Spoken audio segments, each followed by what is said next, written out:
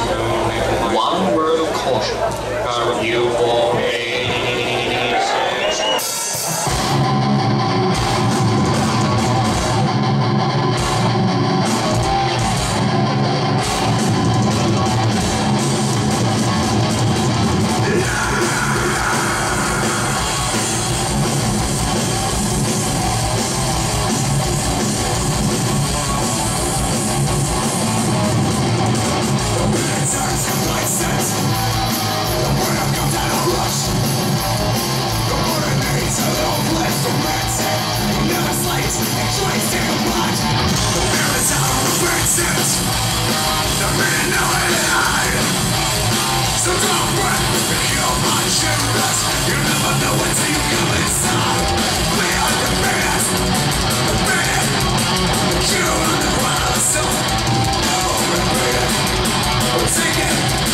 Change